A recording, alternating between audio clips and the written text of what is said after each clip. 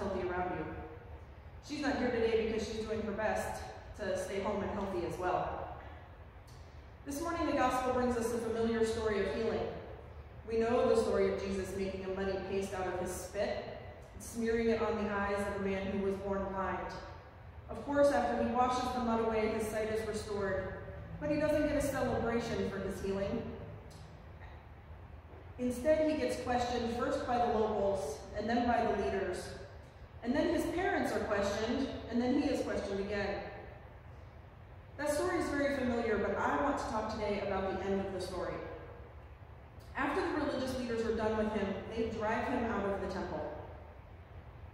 This is when Jesus suddenly reappears in the story and finds the man. Jesus has one simple question. Do you believe in the Son of Man? After the whole encounter with Jesus, after a miracle, and after being driven from the temple, Jesus only wants to know, do you believe? There's no requirement of a prayer parade or a baptism or even a worship service. There's only belief in Jesus, and the man's life changed. Now, there are lots of things that this gospel story can tell us about the character of God. But right now, this week, with the way things are, one thing stood out to me in a big way. The encounter, the miracle, the belief depend on Jesus and not on the temple or the building. We often hear the phrase, Jesus, that the church isn't a building. And right now, we get to show it. When we can't worship together, study together, serve together, or take communion together. I think it's time to put our not the walls theory about the church to the test. Can we still believe? Can we still encounter Jesus for ourselves? And can we still bring others to an encounter with Jesus? In last week's sermon that you can now find on YouTube, Pastor Sally talked about fear and the nasty side effect of fear making us focus on ourselves inward. So this week, let's keep focusing outward. I want us to think about the ways that we can love our neighbors, right now, in this time, even from a distance. Simple ways are to listen to the advice of medical professionals, so keep washing your hands and not touching your face and stay home. But that's the easy part for some of us.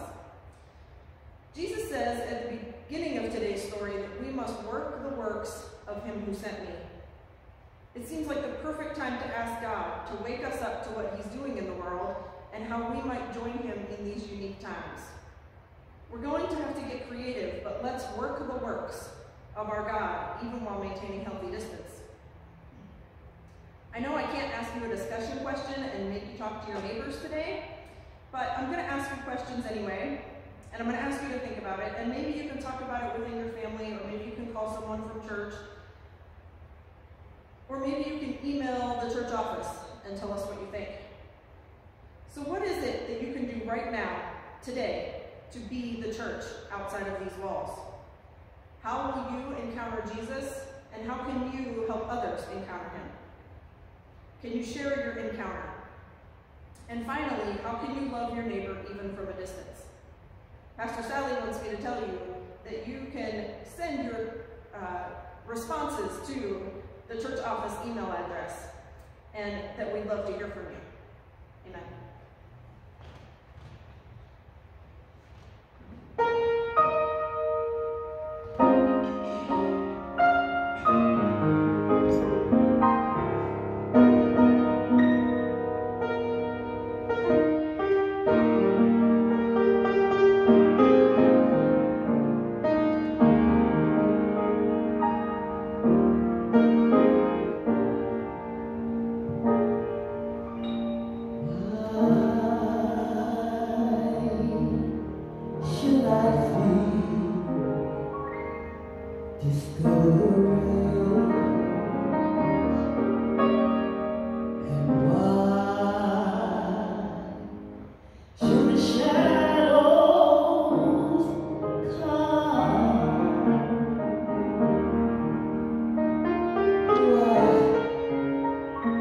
você.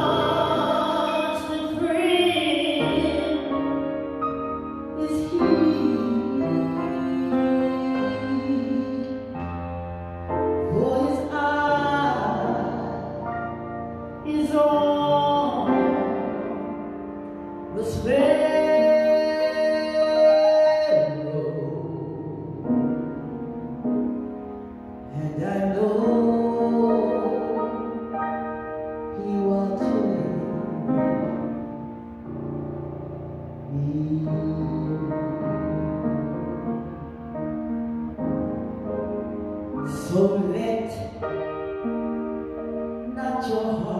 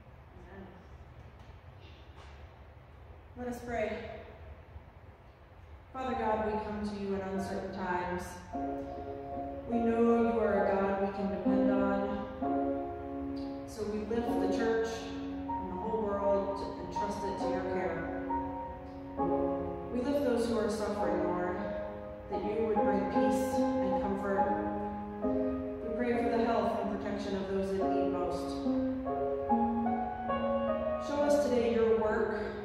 Show us how we can join you in it. We know that we can trust you. We know that you are steady and able. And we ask all these things in Jesus' mighty name. Amen.